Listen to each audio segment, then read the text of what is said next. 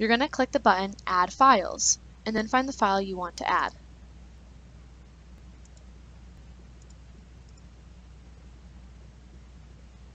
Select the DID, put in the destination number,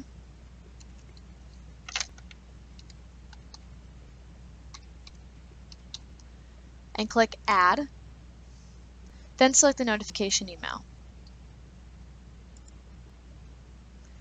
You can also select if you want to add a cover or not.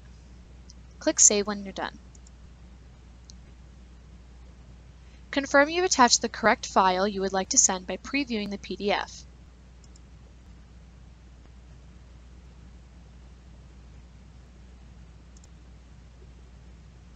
Click Send when you're ready. Please note that larger faxes will take longer to send. You'll notice that the status says sending, but in order to see if it has sent, you must keep reloading the page. That's it. You've completed the walkthrough of setting up your Enterprise iFax account.